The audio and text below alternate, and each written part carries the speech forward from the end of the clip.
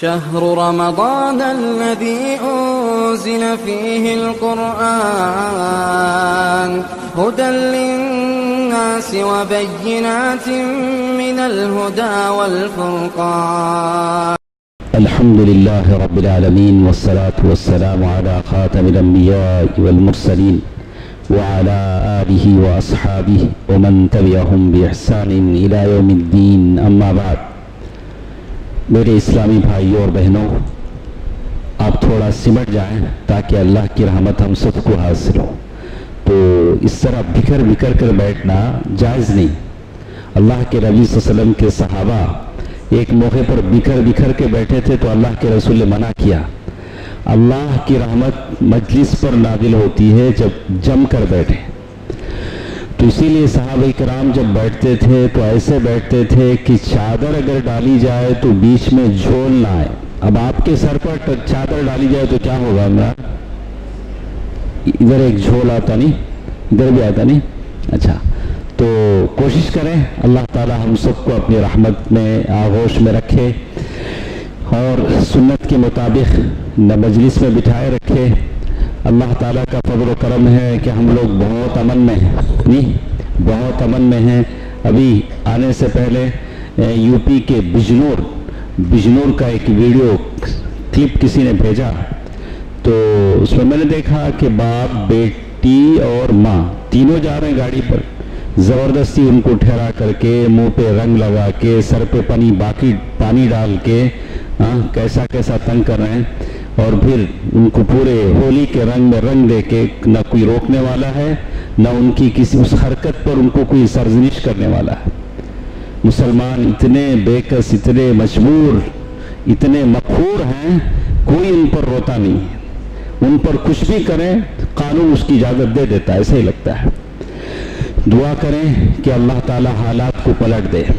अल्लाह ताला हालात को पलट दे, अल्लाह इन जालिमों और इन मुजरिमों को वो सज़ा दे कि सारे मुजरिमों के लिए इबरत बन जाए, आमीन। लेकिन दर्स की बातें जब हम सुनते हैं तो हमको दिल में एक तरह की क़ुवत हासिल होती है कि इस्लाम कभी ऐसा मरहूब और डरा हुआ नहीं था। कल के दर्स में हमने सुना कि अबू जहल के बेटे ओतैबा को शेर ने खा लिया। नहीं, क्यों खाया? अल्लाह के नबी वसल्लम ने उसके हक में बददुआ की। क्या कहा? अल्लाह ही कलबम कलाबिक। या अल्लाह, तेरे कुत्तों में से एक कुत्ते को उस पर मुसलत कर दे। तो अल्लाह ताला ने मुकाम जरका पर जब वो तिजारत के लिए जा रहा था काफिले के साथ मुल्क शाम की तरफ़, शेर ने सारों को छोड़कर उसी को खाया। ये नबी की बदुआ थी। उसके बाद कुछ ऐसे वाकयात पेश आए जो दो बड़े सहाबा की इस्लाम लाने का सबब बने।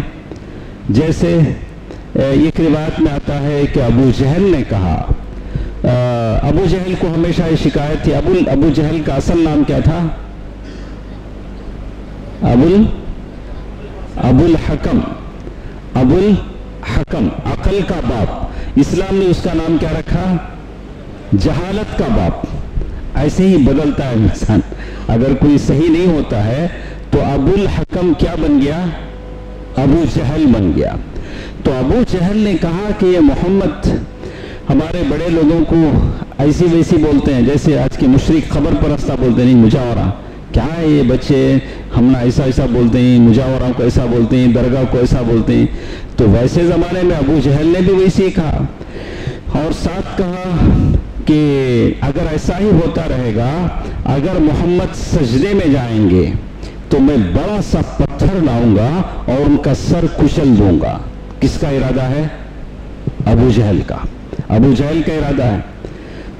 तो अबू जहल ने कहा कि चाहे तो तुम लोग मेरी मदद करो या तो मुझे छोड़ दो, मैं अपना काम करके रहूँगा। मोहम्मद का सर कुचल दूँगा। तो तो लोगों ने कहा कि अबू जहल, हम तुमको अकेले छोड़ने वाले नहीं हैं। रात में बात हुई, सुबह हुई।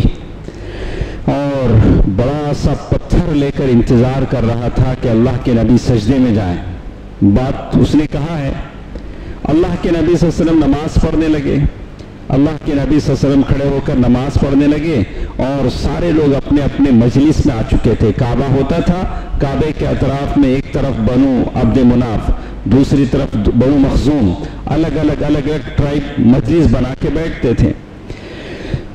सजदे की हालत में अल्लाह के नबी हैं, बड़ा सा पत्थर लेकर अबू जहर आगे जा रहा है, लेकिन जब करीब पहुँचा तो जिस तेज़ी के साथ गया था, उसी तेज़ी के साथ रिटर्न भाग कर आने लगा।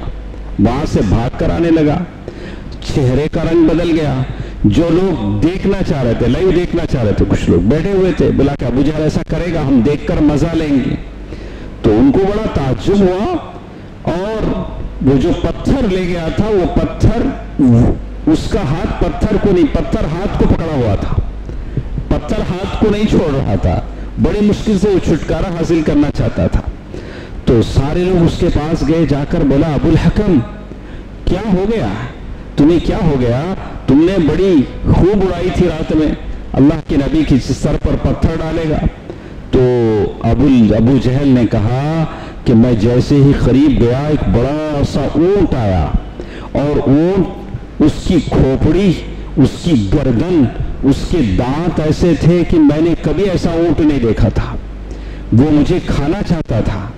अल्लाह के नबी वसल्लम से पूछा गया तो अल्लाह के नबी ने फरमाया कि ये जबरील सलाम थे। वो कौन थे? जबरील सलाम थे। अबू जहल करीब आता तो वो उनको पकड़ लेते। तो मालूम ही हुआ कि फरिश्ता जानवर का भेस भी इख्तियार कर सकता है। अल्लाह ने फरिश्तों को इख्तियार दिया है। कभी इंसानी रूप में भी फरिश्ता आता है, कभी ऊँट का रूप भी फरिश्ते ने इख्तियार किया। उसके बाद अबू जहल ने एक और हरकत की। सुबह शाम उसी में उसका काम होता था। ऐसे बहुत सारे लोग जमाने में होते हैं। जो अमीर हमजा के इस्लाम लाने का सबब बना। जैसे कहते हैं कि एक बार मुश्किन हतीम में जमा थे, कहते हैं कि अल्लाह के नबी सल्लल्लाहु अलैहि वसल्लम एक मरतबा काबतुल्लाह में आए। तो अल्लाह के नबी सल्लल्लाहु अलैहि वसल्लम ने पूरे तौर से बात कह दिया, यानी लोगों ने अल्लाह के नबी वसल्लम को गालियाँ दी तरह तरह की बातें कही। तो अल्लाह के नबी वसल्लम अब तक सबर कर रहे थे, लेकिन अल्लाह के नबी वसल्लम का अब गुस्सा ये हो गया। तो अल्लाह के नबी ने कहा, मैं तुम्हारे पास अच्छी तरह सुन ले। मैं तुम्हारे पास तुम्हारे कत्ल और दबह का हुक्म लेकर आया हूँ। अल्लाह के नबी वसल्लम ने बात कही जैसे ही ये बात अल्लाह के नबी ने कहा, जितने काफिर मुश्रिक बैठे हुए थे, सब एकदम खामोश हो गए। उन पर सत्ता तारी हो गया और सब लोग आकर कहते हैं, अबुल कासिम, आप वापस जाइए, अल्लाह की कसम, हमने आप पर ज्यादती की। ऐसा बोलकर उन्होंने भेज दिया। लेकिन दूसरे दिन हुआ, अल्लाह के नबी सल्लल्लाहु अलैहि वसल्लम आए। अल्लाह के नबी वसल्लम के गर्दन में एक ने चादर डाली, जैसे शेख ने यहाँ लिखा। कि गर्दन में चादर डालकर उसको लपेटने लगा। ऐसे गर्दन में चादर डालकर अल्लाह के रसूल वसल्लम के उसको लपेटने लगा। अबू बकर सिद्दीक रज़ी अल्लाह तु रोते रोते आए। लोग कहा अतुलून रजुलन क्या तुम ऐसे आदमी को कत्ल करोगे अयकूल रब्बी अल्लाह, जो कहता है कि मेरा रब अल्लाह है? यहाँ तक अल्लाह के नबी वसल्लम का दम घुटने लगा। तो कहते हैं कि जब चादर तंग हो गई तो अब्दुल्ला बिन अमर बिन आस रज़ी अल्लाह तु से पूछा गया कि सबसे सख्त तरीन, बदतरीन सलूक जो कुरैश ने अल्लाह के नबी वसल्लम से किया था, वो कौन सा सलूक था? तो उन्होंने कहा कि इस दिन उकबा बिन नबी मुआत ने चादर अल्लाह के नबी वसल्लम के गर्दन में डाली और उसे फोल्ड करने लगा। यहाँ तक कि अल्लाह के नबी वसल्लम का गला घुट गया। सल्लल्लाहु अलैहि वसल्लम। आप समझ सकते हैं कि कैसी कैसी तकलीफें नबी को दे गई अब तक की बातों में आपने देखा कि मेरे नबी, आपके नबी वसल्लम की एड़ियों में खून जमा। कभी आपके चेहरे मुबारक पर थूकने की कोशिश हुई। कभी आपके घर की हांडी उलट दी गई। और कभी आपको पागल और मजलून कहा गया। कितनी मरतबा तो आप पर मार पड़ी। तो कभी हम सोचते हैं, ये तो हमारी ज़िंदगी में कभी नहीं हुआ। जितने हम लोग बैठे हैं सबसे कभी हमने अल्लाह के दीन के लिए तकलीफ़ नहीं उठाई। ज़्यादा से ज़्यादा बोलेंगे तो क्या बोलेंगे? कभी आपको कुछ बातें सुननी पड़ेंगी, लेकिन जिस तकलीफ़ से, जिस मुशक्क़त और तकलीफ़ ईदा रसानी की ज़िंदगी से नबी का गुजर हुआ, वैसे हम सब पर कुछ नहीं हुआ। आगे चल, कहते हैं, हज़रत हमजा। हमदा इनका जो टाइटल है सैयद शहदा सैयद शुहदा शहीदों के सरदार। और ये हंटर बड़े शिकारी थे, शिकार करते थे, शिकारी थे। तो इनके बारे में आता है कि छह सन हिजरी में ये मुसलमान हुए, हज़रत हमजा रज़ी अल्लाह तन तो एक मरतबा ऐसा हुआ कि अबू जहल सफ़ा की पहाड़ी पर से गुजर रहा था। सफ़ा की जो पहाड़ी थी, आप उम्रे के लिए जाते हैं, सफ़ा मरवा पर आप सही करते हैं। तो वहाँ से जब गुजरा तो अल्लाह के नबी वसल्लम को बड़ी तकलीफ़ पहुंचाई, गालियाँ दी। वसल्लम खामोश रहे। कुछ नहीं बोले, मालूम था कि अबू जहल है। लेकिन उसने इतना ही नहीं किया आपके सर पर पत्थर से मार मारी, जिसकी वजह से आपके सर से खून बहने लगा। बात किया, बातें बोली सख्सुस्त कहा, लेकिन अल्लाह के नबी खामोश से तो यही होता है, अगर उसे और जब गुस्सा आया, उसने पत्थर लेकर आप वसल्लम के सर को जख्मी कर दिया। ये सारी कार्रवाई, ये नौकरानी थी अब्दुल्ला बिन जदान की, वो देख रही थी। ये जो भी हो रहा था, वो सारा देख रही थी। और दूसरी तरफ़ से हमजा रज़ी अल्लाह शिकार से वापस आ रहे थे। तो वो नौकरानी उनके पास गई, जाकर कहा कि, हमजा, आप लोग अल्लाह के नबी के ख़ानदान के हैं। आप लोगों के ज़िंदा होते हुए अबू जहल नबी के सर को खून आलूद कर रहा है, नबी का सर खून आलूद हो रहा है। तो मज़बूत नौजवान थे हमजा रबी अल्लाह बड़ा गुस्सा आया। अबू जहल के सामने गए और खूब उसकी पिटाई कर दी। जितना मारना था उसको मारा और मारने से पहले सीधे हरम में गए। देखा आपने?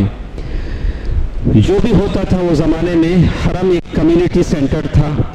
वहाँ अबू जहल अपने दोस्तों के साथ बैठा हुआ था। इधर मारा, उधर अपने दोस्तों में जाके सुनाने लगा कि मोहम्मद को मैंने ऐसे मारा है सल्लल्लाहु अलैहि वसल्लम। हमजा आए रवि अल्लाह आकर कहा है सुरीन पर खुशबू लगाने वाले, हम लोग इतर कहा लगाते हैं? कपड़ों पे लगाते हैं। अबू जहल पीछे लगाता था। तो सुरीन कहते हैं, बैक सिटिंग को। तो उर्दू के अलग अलग अल्फाज हैं, उर्दू में अलग अलग। सुरीन के माने, चूतड़, ये जो पीछे का हिस्सा है नहीं, उस पर खुशबू लगाने वाले।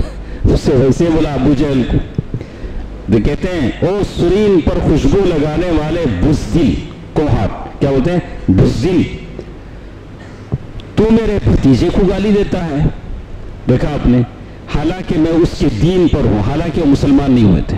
हालाँकि क्या नहीं हुए थे? मुसलमान नहीं हुए थे, लेकिन उन्होंने क्या कहा? मैं उसके दीन पर हूँ, तू मेरे भतीजे को गाली देता है। और साथ साथ उन्होंने ये भी कहा कि उसके बाद उनके हाथ में वो तीर चलाने का जो कमान था बैंड जो होता है, उसे लेकर अच्छी पिटाई उसकी कर दी। अब ऐसा हुआ कि उसके कबीले बनु मखजूम के जो लोग थे, वो लोग भी वहाँ आ गए। अब दोनों दोनों कबाइल में लड़ी का, लड़ाई का माहौल हो गया तो अबू जहल ने कहा कि गलती मेरी है। मैंने मोहम्मद को मारा है सल्लल्लाहु अलैहि वसल्लम, गलती मेरी है, बात खत्म हो गई। लेकिन एक हमजा रबी अल्लाह तु के इस्लाम में आने का एक रास्ता खुल गया आप इस्लाम में आ गए। दूसरे आदमी वो थे, हज़रत उमर फारूक रबी अल्लाह हमजा रबी अल्लाह तु मुसलमान हुए। उनके इस्लाम लाने के तीन दिन बाद हज़रत उमर फारूक मुसलमान। हज़रत उमर फारूक रबी अल्लाह लोगों को इतना सताते थे, इतना सताते थे जो लोग हिजरत करके जाते थे तो कभी हिजरत करके जाने वालों के पास आए तो एक वाइफ और हस्बैंड हिजरत करके जा रहे थे तो ऐसे हज़रत उमर ने देखा तो बीवी ने कहा कि उमर, शायद उनका दिल इस्लाम के लिए नरम हो गया है। तो उनके शोहर ने कहा, हो सकता है कि उमर का गधा मुसलमान हो जाए, लेकिन उमर मुसलमान नहीं होगा। क्या बोले? समझ आए आपको? कितना लोग उनकी इस्लाम लाने से मायूस हो गए थे, उमर का गधा, हमारे ट्रिप्लिकन के जमाने में गद्दा वैसे ना बोला तो उमर का गधा मुसलमान हो सकता है, लेकिन उमर मुसलमान नहीं हो सकता। लेकिन यही उमर क्या थे? अमीर उमिनीन थे। अमीर उमिनीन थे, यही उमर वो थे जिस गली से गुजरते, उस गली से शैतान भी नहीं गुजरता, डर जाता, भाग जाता। और औरतें अल्लाह के नबी वसल्लम के पास बैठ के फतवे पूछती थी। अल्लाह के रसूल ऐसा वैसा।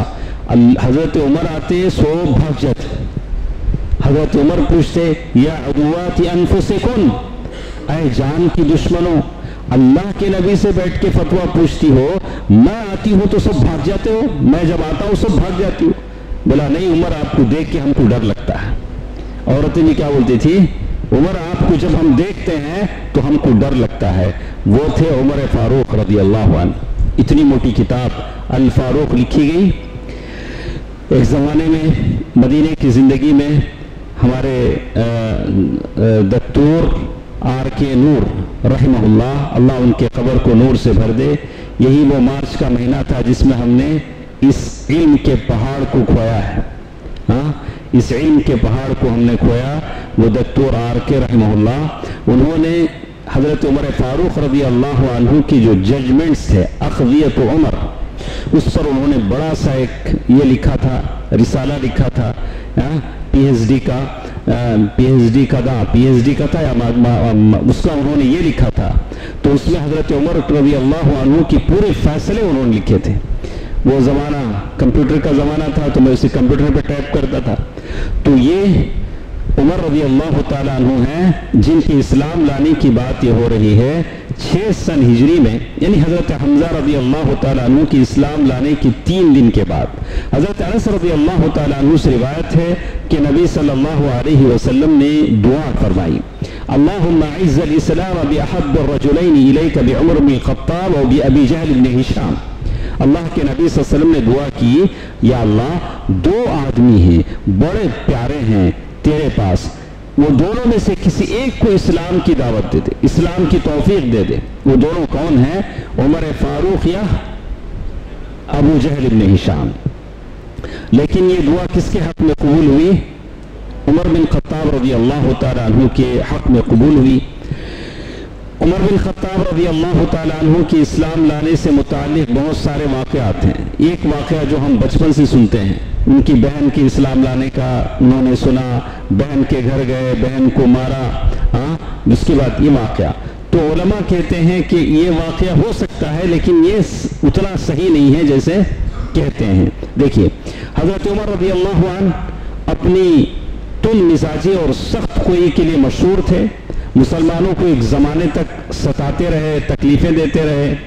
तो कहते हैं कि एक दफ़ा एक दफ़ा ऐसा हुआ कि उमर रज़ी अल्लाह तु को घर से बाहर रात गुजारने पड़ा। घर में नहीं, कभी ऐसा होता है? कभी आदमी बाहर रात गुजारने का मौका आता है। तो उमर रज़ी अल्लाह तु अब वो ज़माना रात में अगर जाना है तो हरम ही जाना पड़ता था, कहीं कोई जगह नहीं थी। तो हरम काबतुल्ला काबतुल्ला में गए। काबतुल्ला के पर्दे वो ज़माने में होते थे। काबतुल्ला के पर्दे में घुस गए। सख्त ठंड पड़ती थी। काबतुल्ला के जो पर्दे होते थे, वो जमाने से काबे को पर्दा पहनाते थे। एक जमाने तक काबे का पर्दा इंडिया से जाता था। हा? इंडिया से जाता था। कहा कि वो काबे के पर्दे में घुस गए। उस वक्त अल्लाह के नबी वसल्लम नमाज़ पढ़ रहे थे। नमाज़ पढ़ने के लिए अल्लाह के नबी आए। और सूर्य हाका की तिलावत कर रहे थे। यानी वो जो सूर्य हाका की रिवायत तो हज़रत उमर रज़ी अल्लाह सुनने लगे। वो पर्दे में अल्लाह के नबी को तो दिखाई नहीं दे रहे हैं, लेकिन सूर्य हाका सुन रहे हैं और उनको अजीब लगा। बोला कि ये तो शायर की बात नहीं है। इन रसूल करीम, वमा शायर कलीलम्मा तुमिनून। तो हज़रत उमर रज़ी अल्लाह ने कहा तो मैंने जी जी में कहा, मैंने दिल में कहा कि शायर नहीं, काहिन तो हो सकते हैं। सुशर ये काहिन तो हो सकते हैं, लेकिन फ़ौरन अल्लाह के नबी ने और एक आयत पढ़ी, वला बिकौली काहिन तजक्करून तंजील आखिरी तक। ये किसी कौल का, ये किसी काहिन की बात नहीं है। हज़रत उमर रज़ी अल्लाह तु कहते हैं कि जब से मैंने कुरान सुना, मेरे दिल में इस्लाम की बात बैठ गई। वो पहला मौका था रात के वक्त जो काबतुल्ला में सुना था। लेकिन अभी दिल के अंदर जाहिली जज्बात और असबियत मौजूद थी। एक मरतबा में जंग दूर होना मुश्किल है। तो लेकिन दुश्मनी का हाल यह था कि एक रोज खुद तलवार लेकर निकले कि चलो हम ऐसा करते हैं, अल्लाह के नबी वसल्लम ही को ख़त्म कर देते हैं, सारा किस्सा ख़त्म हो जाएगा। तो तलवार लेकर निकले। लेकिन जब रास्ते में थे तो नुआम बिन अब्दुल्ला अदली से या बनी जोहरा या बनी मखजूम के किसी आदमी से मुलाकात हो गई। तो वो आदमी ने देखा कि उमर बड़े गुस्से में जा रहे हैं। तो उन्होंने पूछा कि उमर, कहाँ जा रहे हैं? हाथ में तलवार है। उन्होंने कहा कि मोहम्मद को कत्ल करने जा रहा हूँ, सल्लल्लाहु अलैहि वसल्लम। तो उन्होंने कहा कि मोहम्मद को कत्ल करोगे तो बनु हाशिम से कैसे बचोगे? उनका खानदान तुमको नहीं छोड़ेगा। उनका खानदान तुमको नहीं छोड़ेगा। हज़रत उमर रबी अल्लाह ने कहा, मालूम होता है कि तुम भी मुसलमान हो गए हो। वैसे होता था वो तुम भी ऐसी बातें कर रहे हो, तुम भी मुसलमान हो गए हो। तो उसने कहा, ये अजीब बात एक अजीब बात ना बता दूँ। अच्छा ऐसी बात है, तुम मेरी बात जरा सुनो। तुम्हारी बहन और बहनरी दोनों मुसलमान हो गए। तो एक अलग उनको इंफॉर्मेशन मिला। तो उमर ने कहा कि अच्छा उधर जाने से पहले पहले किधर जाएँ? अपने बहन के घर चले। पहले ये हिसाब पूरा कर देते हैं, बाद में उधर जाते हैं। तो उमर गुस्से से बेकाबू हो गए, सीधे बहन के घर की तरफ़ आए और वहाँ जब पहुँचे तो खब्बाब बिन अरत रबी अल्लाह जो दाई थे। वो ज़माने में मुबलिक थे। वो हज़रत उमर के घर में, हज़रत उमर की बहन के घर में बहन और बहनवी को कुरान पढ़ा रहे थे। कुरान पढ़ा, देखा आपने। इस्लाम में आ जाने के बाद फॉलो बहुत ज़रूरी चीज़ है। अगर किसी को इस्लाम की तोफीक मिल जाती है तो हम लोग क्या करते हैं, उसको ऐसे ही छोड़ देते हैं। उसको न नमाज़ का तरीका सिखाते हैं, न दुआएँ सिखाते हैं, ऐसा तो नहीं होना चाहिए। उसको इस्लाम सिखाना चाहिए ताकि वो इस्लाम पर बरकरार रहे। खब्बाब बिन अरत रदी अल्लाह सूर्य ताहा की आयतें उनको पढ़ा रहे थे। और कुरान पढ़ाने के लिए आना जाना होता था। अब जब हज़रत उमर की आवाज़ उन्होंने सुनी घर के बाहर तो वो घर के अंदर छुप गए। पहले वो छुप गए कि अब मेरी खैर नहीं। तो उधर हज़रत उमर की बहन ने वो जो सहीफा था, वो जमाने में तो पेपर नहीं था, जिस पर भी पत्तों पर, चमड़ों पर कुरान लिखा जाता था, उन्होंने वो छुपा दिया, वो छुपा दिया। लेकिन हज़रत उमर वो कुरान की आवाज़ उनके कानों में पड़ चुकी थी। तो उन्होंने कहा कि कुछ मैंने सुना तो बहन ने कहा, आपने कुछ भी नहीं सुना, हम लोग बातें कर रहे थे। लेकिन वो तो गुस्से में थे उन्होंने खूब मारा तो पहले बहनवी को मारा तो बहन आगे आई और आकर कहा कि, लेकिन कहते हैं कि बहन के चेहरे पर जैसे ऐसे मारा कि चेहरा खून हो गया, खून आलूद हो गया। बहन के चेहरे पर ऐसी मार उन्होंने मारी कि चेहरा खून आलूद हो गया। तो सारी बातों से लगता है कि वो सिर्फ़ खून ही खून वो जमाने में होता था, इस्लाम की कुर्बानियों में। बहन ने फ़ौरन कहा अशद व अशद मोहम्मद रसूलुल्लाह. मैं शहादत देती हूँ कि अल्लाह के सिवा कोई लायक इबादत नहीं, और मैं शहादत देती हूँ कि मोहम्मद अल्लाह के रसूल हैं। जब तुमने मार ही दिया है तो मैं कहती हूँ कि मैं मुसलमान हो गई हूँ। हज़रत उमर रदी अल्लाह तन ये सुनकर मायूस हो गए और बोला कि अच्छा ऐसा करो जो किताब आप लोग पढ़ रहे थे, वो किताब मुझे बताओ। तो उनके सामने वो किताब रखा और रखने से पहले कहा कि तुम नापाक हो। क्या बोले? ये आपको नहीं दे सकते हैं हम, इसलिए कि तुम नापाक हो। इसीलिए एक आदमी मुसलमान होने से पहले गसल करना उसके लिए क्या है? वाजिब है, ज़रूरी। अलबत्ता, एक साहब ने मुझे अभी ईशा से पहले ही पूछा कि क्या कुरान मजीद पढ़ने के लिए वज़ू करना ज़रूरी है? तो अगर ये तो इस्लाम ही में नहीं थे, लेकिन आम एक मुसलमान है, वो उसे जनाबत तो नहीं है हद से असगर है, इन्हें वज़ू करने की ज़रूरत है। तो अगर वो अपने दिल से कुरान पढ़ता है, जो याद है हाँ तो उसे वज़ू बनाने की ज़रूरत नहीं मोबाइल में अगर कुरान पढ़ता है तो उसे वज़ू बनाने की ज़रूरत नहीं है। लेकिन फ़िज़िकल आप कुरान सहीफा अपने हाथ में लेते हैं। हाँ चाहे एक पारा लें, पूरे कुरान के तीस पारे लें, आप वज़ू बना कर ही लेंगे। समझ में आई बात? इसकी दलील सूर्य वाक़ की आयत लामसुल शेख इब्न बाज का यही फतवा है कि आप वज़ू बनाकर ही कुरान छुएँगे। तो उमर फारूक, उसमें थोड़ा ऐसा इख्तलाफ है। किसी ने कहा कि इससे फरिश्ते मुराद हैं, किसी ने कहा कि इंसान मुराद हैं, थोड़ा सा इख्तलाफ। लेकिन शेख बास की जो बात है, वो मैंने आपके सामने रख दी। तो कहते हैं कि बहन ने कहा कि चला अच्छा करो, तुम पहले वसूल करो। वसूल करो। हज़रत उमर ने उठकर वसूल किया, फिर किताब ली और बिस्मिल्लाहिर्रहमानिर्रहीम पढ़ने लगे और पढ़ते पढ़ते कहा, ये तो बड़ी पाकिजा नाम है। और सूर्य ताहा की आयतें पढ़ी, जिसमें है इन्ननी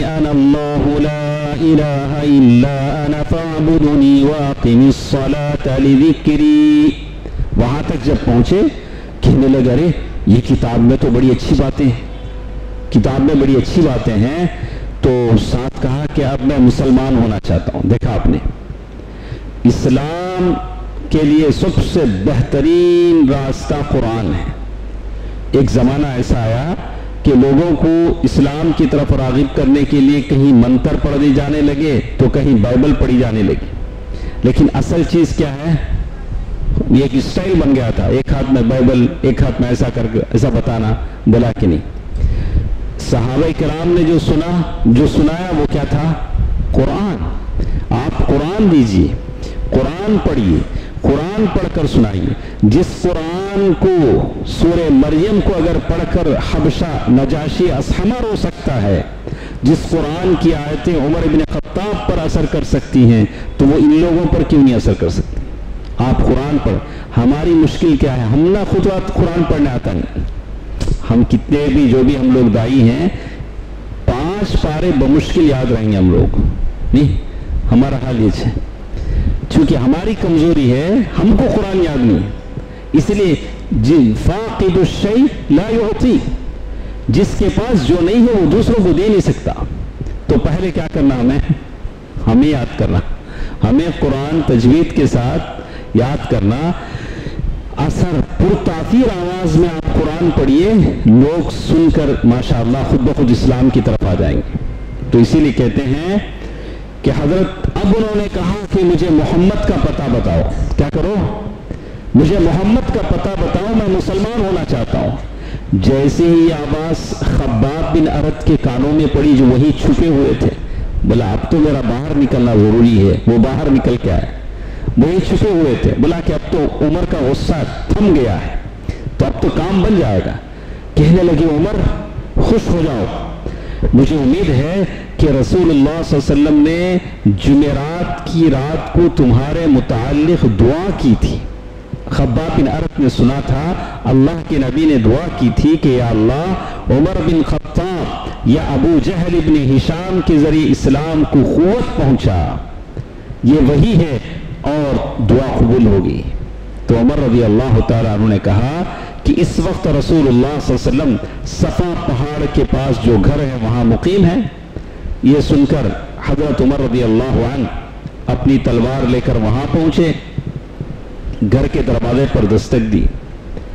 और तो एक आदमी ने उठकर देखा, बाज बातों में कि अबू बकर ने देखा। तो एक आदमी ने उठकर झाँक कर देखा तो उमर तलवार के साथ है। सीधे अल्लाह के नबी के पास आ बोला, अल्लाह के नबी, दरवाजे के उस पार उमर है, तलवार के साथ है। तो अल्लाह के नबी वसल्लम के साथ जो लोग थे, सारे लोग सिमट कर अल्लाह के नबी के अतराफ हो गए। तो हज़रत हमजा ने भी पूछा कि क्या बात है? लोगों ने कहा कि उम्र है। हज़रत उमर ने, हज़रत हमजा ने कहा कि बस उम्र है, डरने की क्या बात है? दरवाज़ा खोल दो। अगर वो खैर के साथ आया है तो हम उसे खैर अता करेंगे।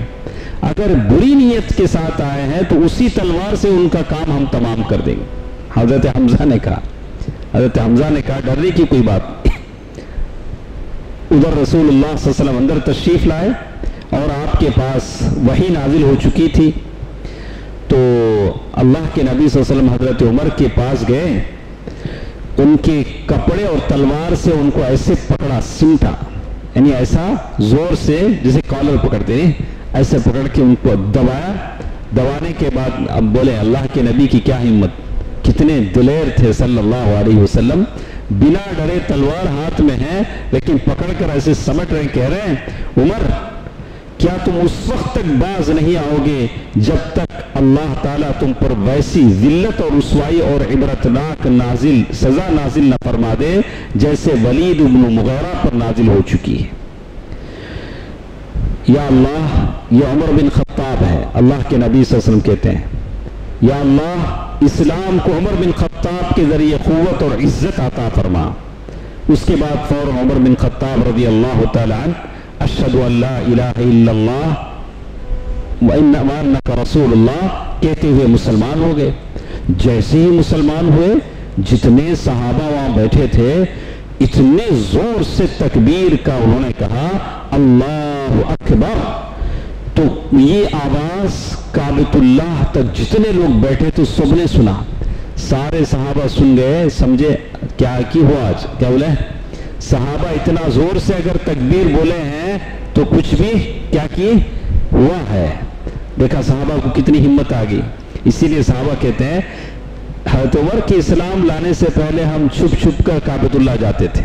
लेकिन हज़रत उमर जब मुसलमान हुए तो हमको हिम्मत आ गई। और ज़ोर से उन्होंने कहते हैं कि ये सुनकर घर के अंदर मौजूद सहाबा ने इस ज़ोर से तकबीर कही कि मस्जिद हराम वालों को सुनाई पड़ी। काबतुल्ला में जितने लोग थे, उन्होंने सुना। तो कहते हैं, हज़रत उमर रदी अल्लाह तु से मुकाबले की कोई जुरात नहीं कर सकता था। और जब वो उमर रदी अल्लाह तु मुसलमान हुए तो उनको हिम्मत आ गई मुसलमानों को। तो कहते हैं तो अब मुसलमान होने के बाद हज़रत उमर ने सोचा कि मेरी इस्लाम लाने का मामला सबसे पहले मैं किसे सुनाऊं? तो आप गेस कीजिए, किसे सुना रहेंगे? हाँ? किसका दिल जला रहेगा सबसे ज़्यादा? अबू जहल का। देखा क्या वो जमाना था। उन्होंने कहा कि सब किस, वो बोले कि हज़रत उमर रज़ी अल्लाह तु ने अपने दिल में कहा कि मैंने जी ही जी में कहा कि सबसे बड़ा और सख्त तरीन दुश्मन मक्के में अबू जहल है। तो मैं सीधे अबू जहल ही के पास जाऊँगा, बोलूँगा कि मैं मुसलमान हूँ। जले हुए को जलाना, कहा कि अजीब बात है। बोला कि अच्छा उसके बाद मैं उसके घर गया। अबू जहल के घर गए, जाकर दरवाज़ा नॉक किया, खटखटाया। वो बाहर आया, बोला, अहलन व सहलन, वेलकम, खुश आमदीद, अबू जहल, उसे मालूम नहीं, असल किस्सा। बोला कि मुबारक हो मुबारक हो, आई आई। कैसे आना हुआ? मैंने कहा, तुम्हें ये बताने आया हूँ, अल्लाह और उसके रसूल मोहम्मद पर मैं ईमान लेकर आया हूँ। और जो कुछ वो लेकर आए हैं, उसकी तस्दीक कर चुका हूँ। हज़रत उमर का बयान है कि ये सुनते ही उसने दरवाज़ा धड़ल से बंद कर दिया। अबू जहल ने क्या किया? जिस खुशी से दरवाज़ा खोला था उस खुशी से उसने दरवाज़ा भेंट दिया, दरवाज़ा बंद कर दिया। और साथ साथ कहने लगा, अल्लाह तेरा बुरा करे और जो कुछ से लेकर आया है उसका भी बुरा करे। कैसा बुरा आदमी है? अब आप पूछेंगे, दरवाज़ा बंद करे तो कैसा सुने रहेंगे? वो जमाने में दरवाजे क्या थे? हा? वो जमाने में सुरखों वाले दरवाजे थे। आजकल के इतने इतने तो नहीं थे तो उन्होंने कहा, ऐसे कुछ लोग करते, इसलिए मैंने ही सब सफ़ाई दे दी। अकल हमारी बहुत तेज काम करती है। अच्छा किसी साहब ने कभी मुझे कहा था तोबा का वाकया जब हमने पढ़ा तो सहरा में शेर कहाँ से आया? ऐसे सवाल का। उतबा को शेर खा लिया, वो वो तो डिजॉर्ट डिजॉर्ट में शेर कहाँ से आया? शेर इसे पूछ के आता, अरे अल्लाह चाहे तो यहाँ भी शेर आ सकता, अभी भी आ सकता है। अल्लाह चाहे तो क्या नहीं हो सकता? तो अल्लाह सबको सही समझ अता करे। तो कहते हैं, ये सारे वाक़ इन्होंने नकल किए हैं। तो ये हज़रत उमर तो उनकी, उस इनकी इस्लाम लाने के बाद जो वाक़ात हो, उसकी सारी चीज़ों को इन्होंने यहाँ नकल किया है। तो ठीक है, इसको हम लोग एक बार यहाँ पढ़ लेते हैं ताकि समझ सकें। कि उस हज़रत उमर रज़ी अल्लाह तु के इस्लाम लाने क्या, लाने के बाद क्या हालात थे? तो इबन हिशाम और इबन जौजी का बयान है कि जब हज़रत उमर मुसलमान हुए तो जमील बिन मामर जमही के पास गए। तो हज़रत उमर का ये देखिए, माशाल्लाह, इतने फरासत, इतने अक्लमंद थे, उनके फैसले आप पढ़ेंगे तो बड़ा ताजुब होगा। अगर आज की सुप्रीम कोर्ट और हाई कोर्ट अगर इनकी किताबें पढ़ें, उनके जो जजमेंट्स हैं, इनको बड़ा फ़ायदा होगा। हाँ? तो हज़रत उमर रज़ी अल्लाह तु ने एक तो अबू जहल को जाकर सुना दिए। उसके बाद एक और आदमी की तलाश थी हज़रत उमर को। वो कौन था? कुछ ऐसे लोग होते हैं, आपको कोई भी चीज़ वायरल करनी है पेपर में डालने की ज़रूरत नहीं।